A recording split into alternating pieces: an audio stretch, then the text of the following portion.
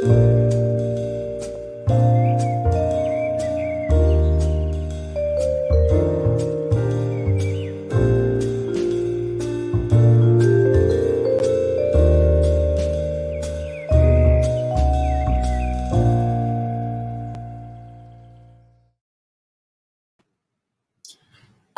Unicorn here. I am so happy to be back with a very short video. This shouldn't be longer than 15 minutes.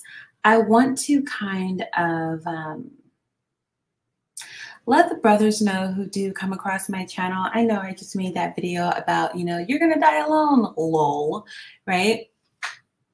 And there was some guy in my uh, comments, I, I don't remember his name, forgive, forgive me, who was just super duper offended. And I'm just like, yo, I'm not talking about you. I mean, if this is not rhetoric that you throw out, then why are you offended? This this is not about you. This is not specific to you. Again, I only have two moderators and they are both African American men. I need you to understand that they are both African American men. I do not hate black men. This is not a black male bashing channel. However, it is a pro black woman channel. I am for black women. I do not need permission or approval to be for my mother, for my nieces, for my sisters, for myself. Okay? That's what it is. And if you're anti Black female, then okay, maybe some of these descriptions are about you. But if you're not and you know that you're not, why are you offended? Like for example, I think it's um, I think it's in Black women's best interest who do this kind of content to you know, say things like um, dusty when they're talking about, you know, a certain type of man. Now, dusty, is it overplayed? Sure it is. Can they do better about a new word? Sure we can. We can all be a little bit more creative in the things that we say.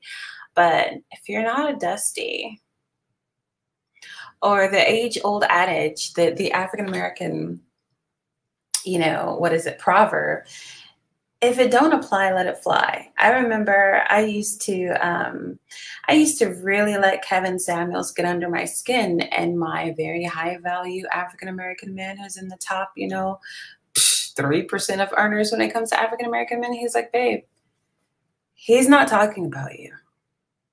And I was like, yeah, but you know, I'm over 30 and I'm this and I'm this. He's not talking about you. Why are you offended? And although that helped me to become less offended, I was like, at the end of the day, I'm still offended on behalf of my sisters who he does talk to like that. Because honestly, there are certain women who call into the show who just, I mean, he, the men in the audience couldn't get with those women. He couldn't get with some of those women some of those women were just on there to expand their brand, to get some, you know, to get noticed, to get attention. I'm starting to realize that some of the women who call in are not just calling in because they want advice. Some women are calling in because it's a joke and they want exposure. But anyhow, when I'm talking about black men who black women ought to just leave alone indefinitely, this is what I mean. I, I want to drive home this point because I'm just like, look at this man. If, if, if you don't look like this, act like this, no, it, it's not about you.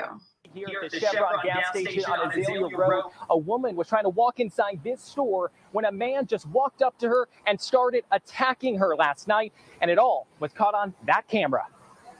A surveillance camera captured these terrifying moments of a rough robbery outside of a Chevron gas station. A Mobile woman ambushed, grabbed, and then eventually thrown to the ground. For it to be right around the corner from where I live, um, I'm completely shaken up. This all happening at the Chevron gas station at Azalea and Michael around 7:30 last night.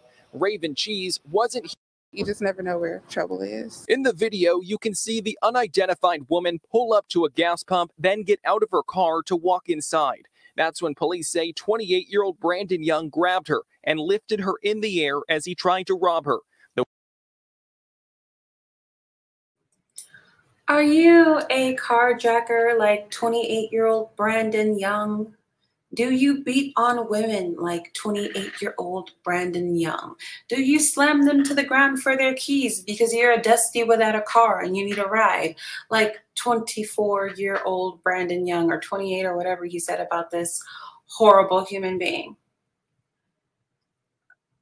Is that you? Is that your reflection? It isn't? Okay, so then this kind of rhetoric shouldn't offend you because in reality, women are under friggin' attack by shiftless men who can't i mean he couldn't. he he couldn't have done that to a man. He wasn't going to do that to a man with his string bean soggy spaghetti noodle built self. He was he wasn't going to do that. He was waiting for a woman and not that it matters, but that looks like it's a white woman. I, I could be wrong. But I mean, even he's struggling with her. Like, you know, she's putting up a fight, but like not swinging. She's more like struggling, you know, against him. And, and, like like these are people honestly i don't care if the police shoot them no i don't care who this guy is I don't, I don't care if he gets a George Floyd knee. I, I really don't. Even George Floyd himself, after learning his history of, you know, holding a black woman hostage at gunpoint at her pregnant belly with a loaded gun and not taking care of his kids. I'm like, like, like, take out the trash. Are you the trash? You're not, right?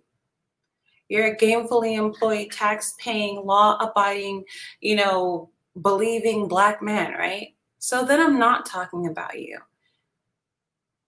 one of the things that I did wrong that my partner was telling me about, but he was like, You have this thing where you're like, I'm every black girl. It's all it, right?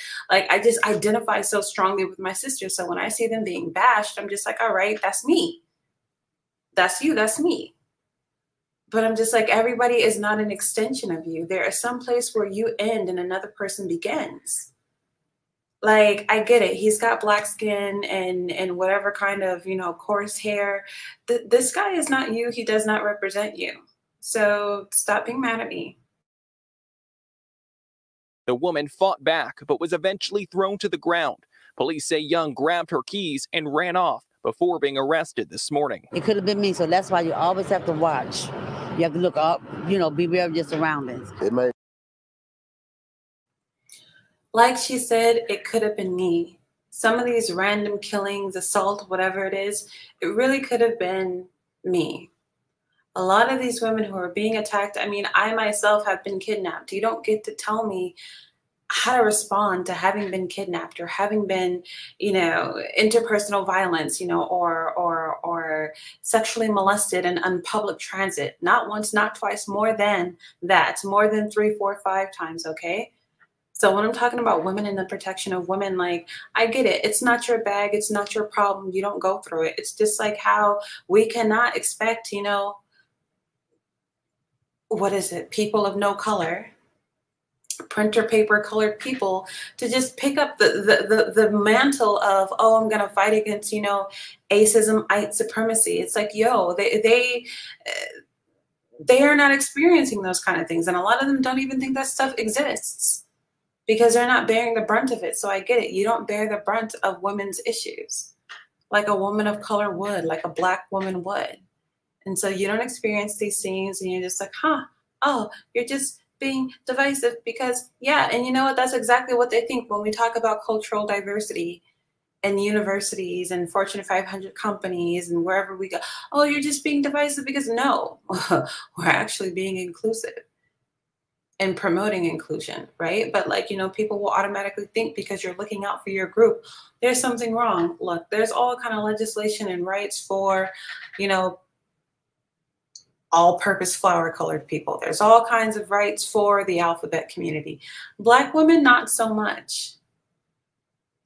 Not so much. We're not really qualifying as these, you know, vulnerable groups of people, like, like, no, look all over you. Like it's okay to drag us, talk bad about us, whatever it is, abuse us, stalk us. On like uh, we can report the report videos until our, our eyes cross with severe doxing, stalking people. Like it, it doesn't matter. There's a whole lot of protection that we don't have because, because according to you know misogyny and, and anti-black sentiment, you know, which couples to create misogynoir. We're just some of the least protected, least respected people in America. And we have to fight that battle for ourselves. So again, if you're not some kind of a predatory human being, like why are you worried about it? Why do you, why do you feel so attacked? Why do you feel so put down? Made me scared for my daughter and my wife. You know what I'm saying? They come here too. This isn't the first time this gas station has made the news. Back in June, a clerk was held up as two men demanded money. Shots were fired, but nobody was hurt. The suspects got away with some cash. I'm scared all the time to standing outside for a minute. The gas station manager people like us, people like, you know, innocent people get hurt every time. So we need, all we need is just protect. Despite the scary situation, she says she'll be back. I'm still going to come here uh, and try to keep my eyes open. At last check, Young is still behind bars tonight. He should face a judge later this week for the robbery charge. We're live in Mobile tonight. Tyler Fingert, Fox 10 News.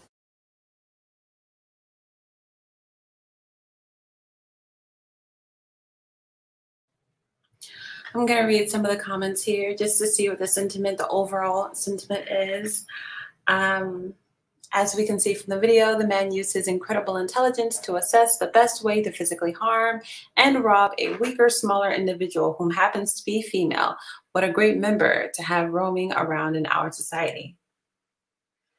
Now, here's the deal. I agree with this comment, even though this person's name is Angelic Noose.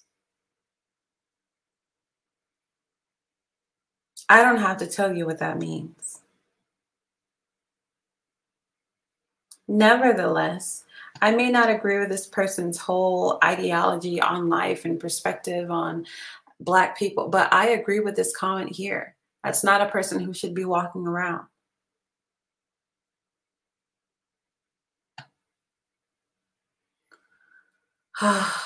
Unapologetic white man winner. This one says, Notice everyone says they are upset by this. Also notice no one did anything to stop him. The police are not hired to protect you, which is weird because on every police car it says to protect and to serve. They just show up after this kind of thing has already happened. You have to take your safety into your own hands. Get a gun. Get proficient with a gun. Get a permit. When you pull up to a place like this, before you unlock and get out of your car, look around for odd details and people. Now, one of the things that alarmed me, like, like, okay, so this JL person says concealed carry would fix this problem. Also, pay attention to your surroundings. If someone starts approaching, be prepared to fight. Now, here's what I understand about this woman's body language, because honestly, like, the way that she, she, like, he was walking up so close to her, I almost wanted to tell her, you know, move get out of his his his uh, path. But honestly, women like because she might have thought the guy was attracted to her. She might have thought the guy wanted her phone number. And sometimes if you're by yourself and you're like, nah, I ain't with it. Nah, I don't want you to have my number. Boo. Get away from me. Whoop de whoop, or start walking in the other way. That makes men more aggressive. It makes them even more aggressive. And so sometimes they're not as violent when you're just like kind of chilled out. Like, oh, yeah, mm, he's walking closer to me. Don't move too much to the left or to the right because it's going to trigger. So that's why you always have to watch. You have to look up, you know, be aware of your surroundings. It made me scared for my daughter and my wife. You know what I'm saying? They come here too. Yeah, a terrifying attack caught on camera at a Mobile gas station has a lot of people in shock tonight. A guy tries to rob a woman and steal her car in broad daylight. The woman, though, turns the tables and fights back. All this happening at that Chevron on Azalea Road at Michael Boulevard. The video posted on Facebook yesterday and has now been shared more than 11,000 times. Fox News Shelby Meyer is joining us in studio tonight. And Shelby, you talked with a local self defense expert who has some tips on how we can protect ourselves in a situation like that. Yeah, I did, Byron and Lenise. And hopefully you're never caught in a crime like this. But as you can see, it can happen no matter what time of the day it is. The head coach at Spring Hill Taekwondo just hopes if evil does attack, you'll be prepared. The hair raising moments a local woman barely saw coming, all caught on camera. Watch as she pulls up to the Chevron gas station on Azalea and Michael. When she begins to head inside, a lurking man ambushes, grabs, and then slams her to the ground. Mobile police say it was 28 year old Brandon Young who attacked her. Police say Young grabbed her keys and ran off before being arrested this morning. Hmm. We showed the shocking video to Spring Hill Taekwondo head coach Burton Webb. Broad daylight doesn't mean that you're safe. He also had some tips on defending yourself.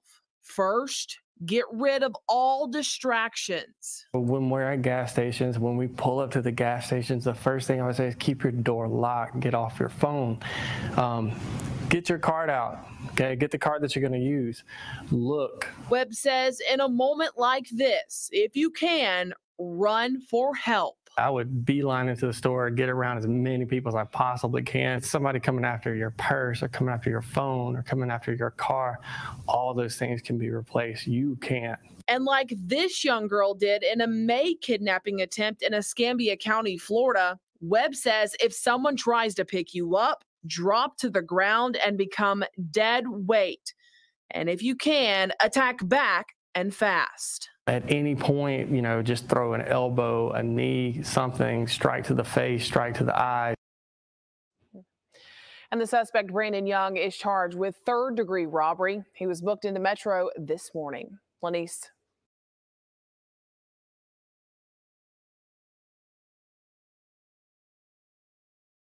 You wanna argue? I can't argue with you. You mad?